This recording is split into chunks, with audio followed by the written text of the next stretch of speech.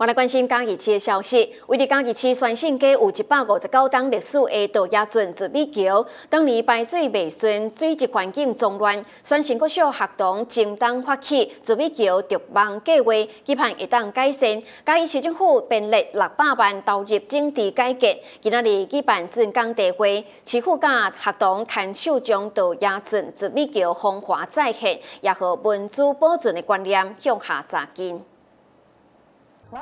今年市政府分两档编列六百万以上投入到亚圳排水改善、兴建丰泽比桥桥体形状的进行桥，同时完成周边环境改善。十七号举办高德有爱梦想启航到亚圳泽比桥排水改善竣工改善工程。今年市长吴明辉亲自到场。带领舞会贵宾做会进行解说牌甲牌仪式，同时含三线国小的老师佮有学生囡仔做会将爱心的形状打到竹笔桥的空棒顶头，共同见证的亚准竹笔桥风华再现。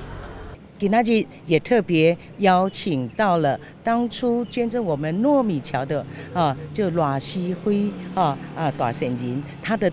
第五代生就是我们赖成雄赖教授特别回来来见证这个时刻。我们看到赖教授也谈到呃先人的努力，那我觉得一起来见证，让这一座桥更有生命、更不一样。也谢谢包括我们老师，我想我们呃宣信国小的老师哈，不但是写了词教孩子吟咏诗，许多的老师的共同努力，孩子借由诗词的吟咏。然后歌颂，然后努力，是期望，是回顾，更是前瞻。那我感觉真有意义的一个哦教育，我想咱将教育都融入在其中。尤其听到囡仔用台语来吟歌诗，我非常高追嘛，非常有意义。我相信这着咱真用心来做教育，和大家了解。特别爱感谢咱宣信国小，咱的校长跟老师大家用心。如果你有机会来到嘉义，来到咱啊南亭古道这。里。呢，你来看咱的糯米桥，在这个糯米桥里面，我们也谢东哲老师也运用了我们胶纸桃孩子的创作，写了一个非常有意义的解说，呃，解说的牌子。那大家一起来了解历史，你会更爱这一块土地。德雅镇这笔桥，伫一八六四年建造到今嘛，已经有一百五十九栋的历史，是古自乐城通往中部乡四十九庄唯一的通道。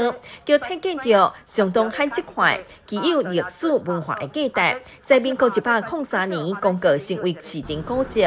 因为德雅镇当年都有排水卫生、水质环境垃圾的问题，而且周边嘛无安全防护措施。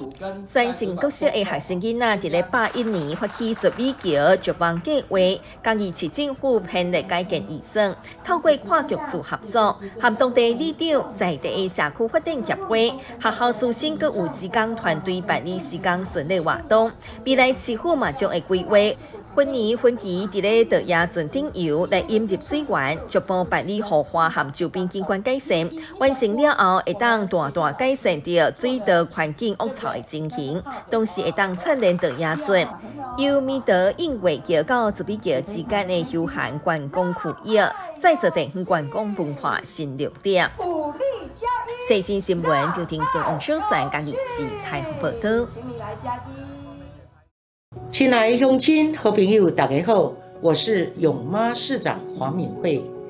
嘉义地区水情严峻，面对缺水危机，让我们一起从生活中节水。咱会当将泡澡改为淋浴，用擦车来代替洗车。洗手搓揉香皂的时候，记得要先关水龙头哦。